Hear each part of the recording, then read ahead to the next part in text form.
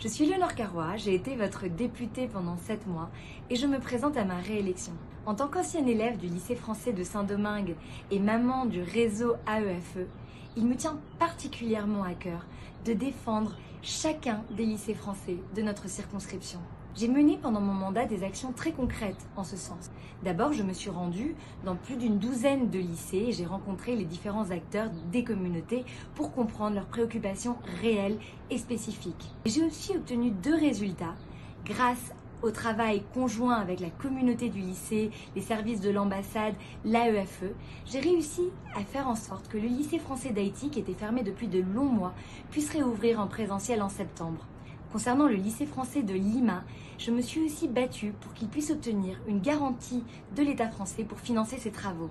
Deux exemples concrets de mon travail quotidien pour vous, pour nos enfants, pour nos lycées. Donnez-moi les moyens de continuer en me réalisant.